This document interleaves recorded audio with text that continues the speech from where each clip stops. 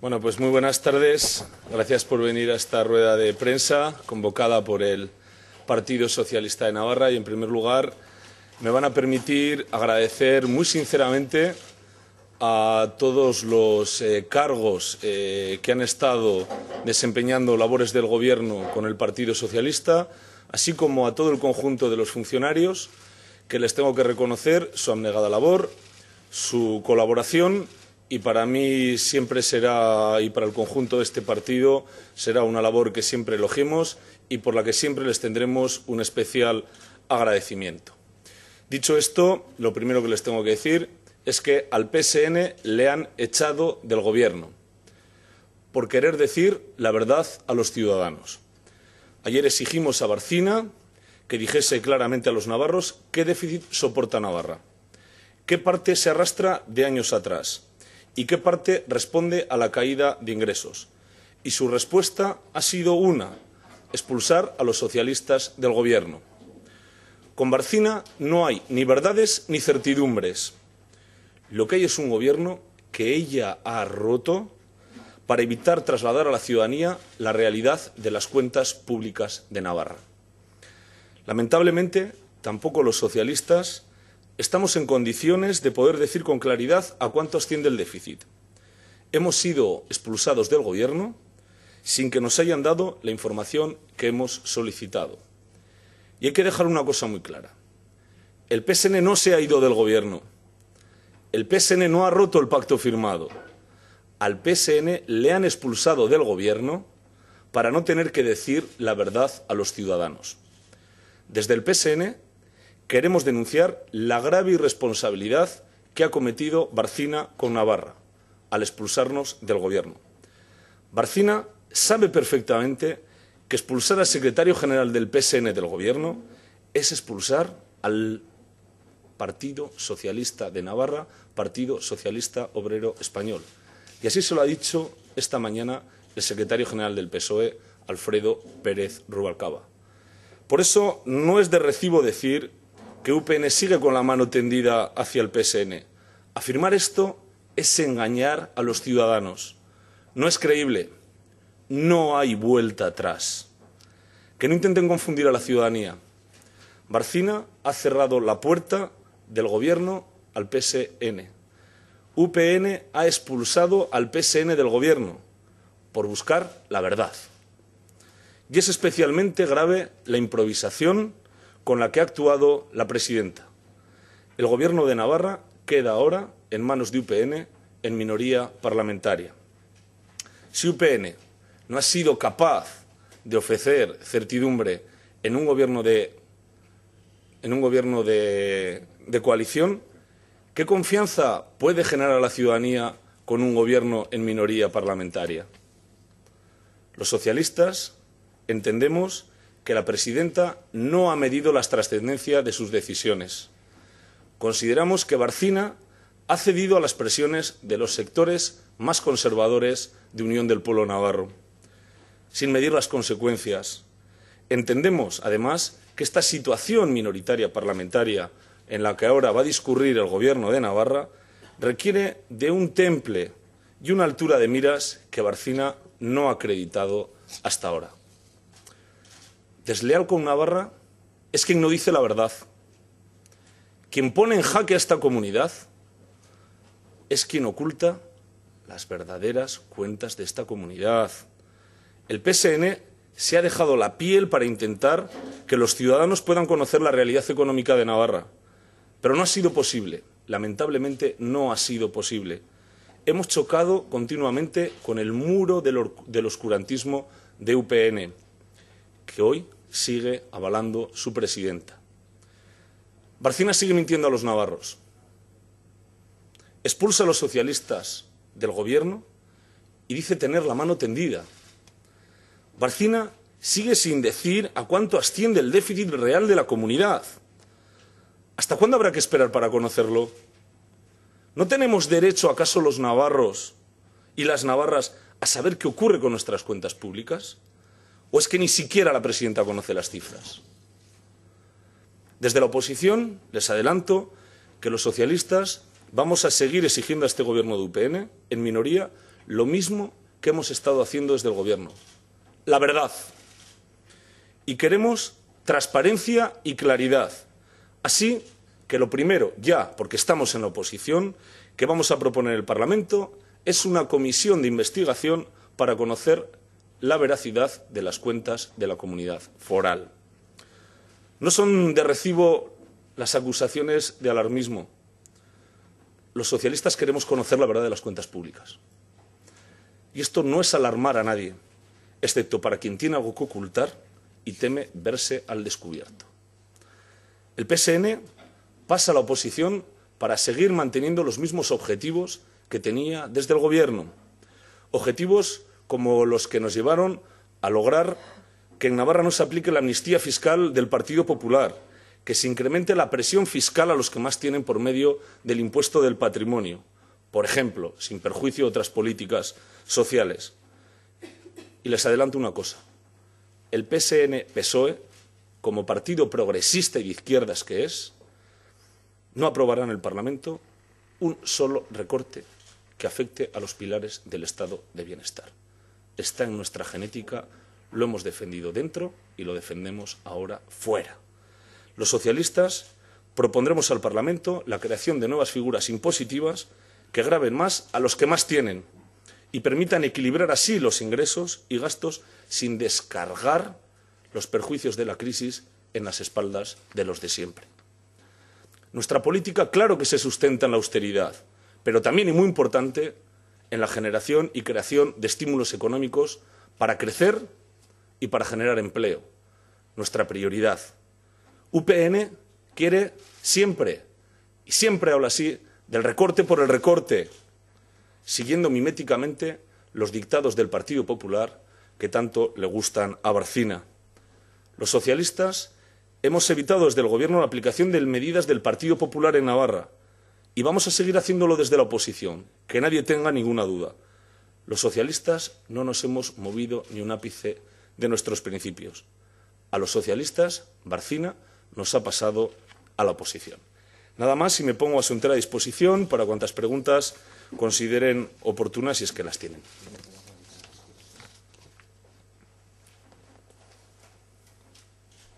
¿Ninguna pregunta? Sí, en la rueda de prensa Yolanda Barcina eh, ofrecía, como, como, usted decía, cuatro veces la colaboración de, al Partido Socialista para seguir en el Gobierno, pero dejando muy claro que el obstáculo era usted. Yo a Yolanda Barcina lo que le diría es que en política hay que ser mayor de edad y que cuando expulsa al secretario general del Partido Socialista está expulsando al Partido Socialista. Cuando nos echa del Gobierno, nos pasa a la oposición, no me está pasando a mí, está pasando al conjunto del Partido Socialista. No hay vuelta atrás.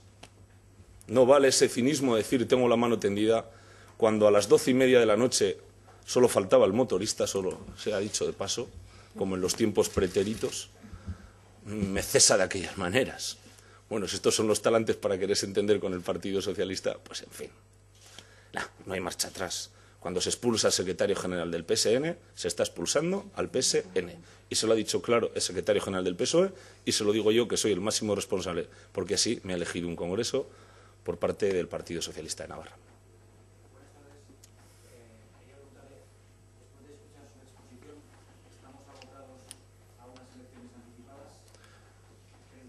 Esa es una decisión que corresponde a la presidenta del Gobierno. Lo que sí le puedo decir eh, con absoluta certeza es que, desde luego, el temple, la cintura que ha acreditado en el Gobierno no nos hace pensar que, estando en un Gobierno que tenía mayoría absoluta, porque era un Gobierno de coalición, que en un Gobierno en minoría vaya a cambiar su, su actitud. Con lo cual, esa es una decisión que ella tendrá. Nosotros tenemos claro que nos han pasado a la oposición y pasándonos a la oposición, pues vamos a ejercer lo que tenemos que hacer, la labor de fiscalización y, por otro lado, de propuesta.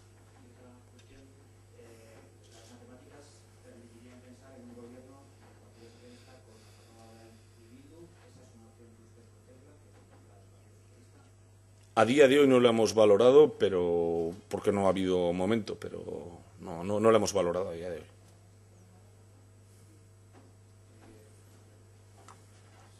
Eh, si usted cree que entonces esos recortes de 132 millones que, quiere, que pretende hacer Barcina va a poder seguir adelante o va a ser el primer muro con el que se va a topar?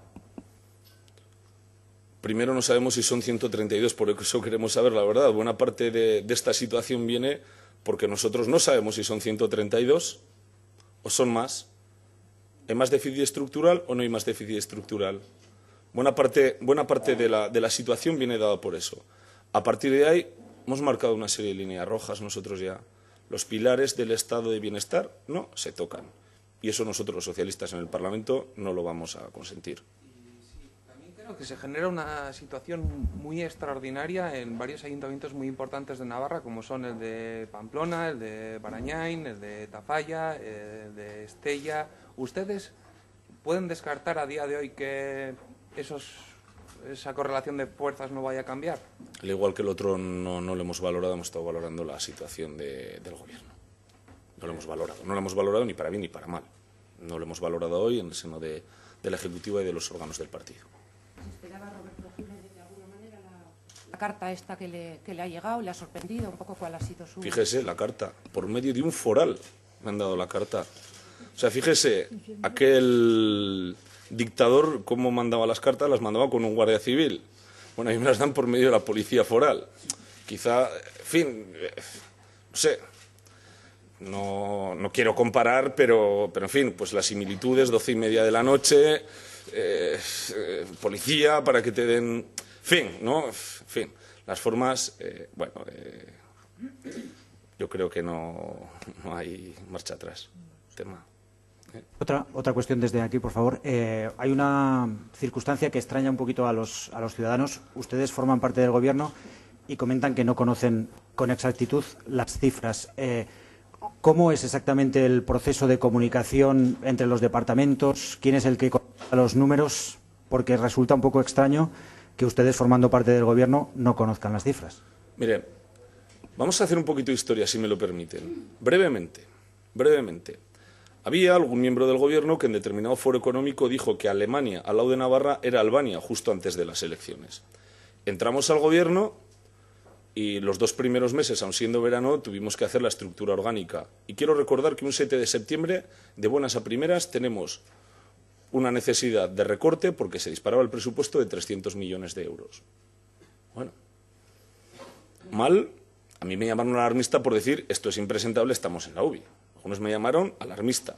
Cuando cuatro meses antes, curiosamente, pero siguiendo también la misma estrategia del Partido Popular, que cuando hay elecciones se niegan las cosas para que luego afloren de verdad, ¿no? Bueno, lo abordamos, lo resolvemos, después llegan presupuestos. Y empiezas a tener cierta credibilidad por decir, oye, ¿por qué tengo que pensar yo que, que otro no cuenta todo como lo cuento yo, no? Pues nos creemos las cosas, los consejeros y el conjunto del partido. Pero claro, empieza este año, mes de mayo, es que en menos de tres semanas hay tres previsiones económicas. Tres previsiones económicas. 11 de mayo.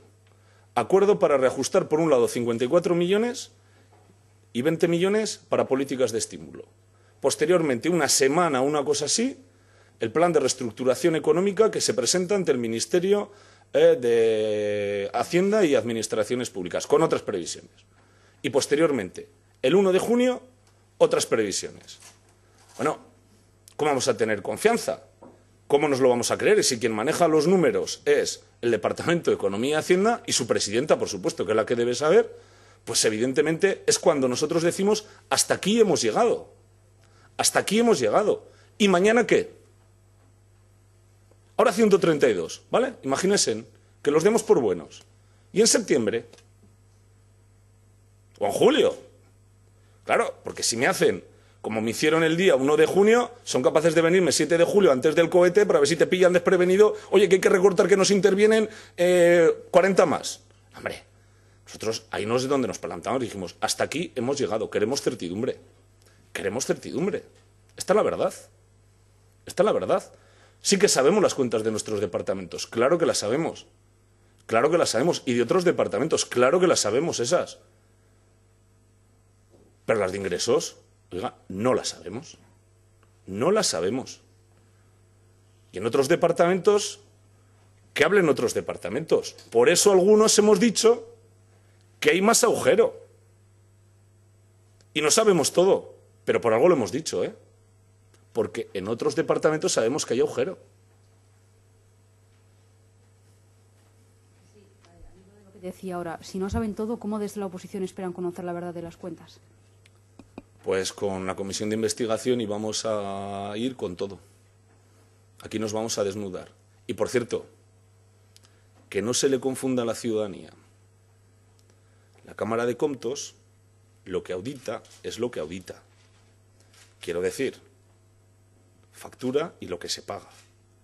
La Cámara de Comptos no audita qué ingresos se va a tener o no se va a tener y qué déficit estructurales se tienen. ¿eh? Que no se le mienta a la ciudadanía, por favor. Que ya basta. Que bastante se le ha mentido.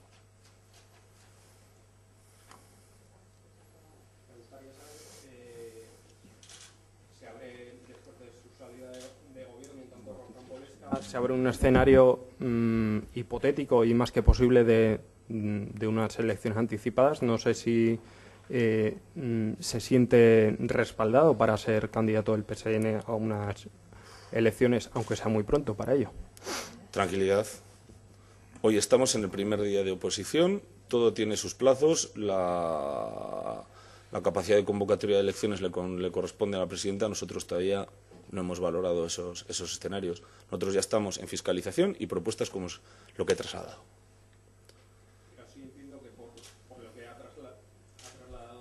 Eh, el señor Pérez Rubalcaba, la presidenta, ¿se siente usted respaldado por el partido, por su ejecutiva, después de, de la decisión que tomó ayer? Una imagen vale más que mil palabras. Si la, eh, las cosas, ¿ustedes pensaron alguna vez en dimitir? Nosotros hemos pensado en todo momento y en la hoja de ruta que así fijamos con, con, la otra parte de, del Gobierno, la semana pasada, creo que fue el miércoles o el jueves, una hoja de ruta para resolución del problema, que pasaba en primer lugar por tener la certidumbre y poder estudiar las cuentas en profundidad, después adoptar las medidas que fuesen necesarias y, en tercer lugar, reformular el acuerdo de Gobierno, habida cuenta que había desajustes que son evidentes. Que, ¿qué ocurre? Cuando se dice que hay desajustes que son evidentes, hay quien confunde. Dice, no, no, es que usted hace gobierno y oposición. No, no, no, no. Es que algunos confunden lealtad con sumisión. Y este partido ante la derecha no dobla el espinazo. Ni ante la derecha ni ante nadie.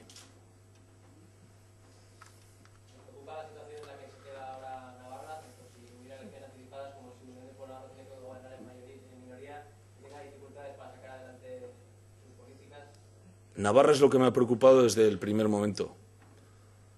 Pero para poderle dar soluciones a los navarros y a las navarras, lo que hay que saber primero, como en medicina, es diagnosticar bien qué es lo que tenemos. Y no está bien, bien diagnosticado. Siempre hemos dicho que estábamos dispuestos a tomar decisiones, pero para pedirles a los navarros y a las navarras esfuerzos, hay que decirles cómo están. Y como no sabemos cómo están, es muy difícil pedirles esfuerzos.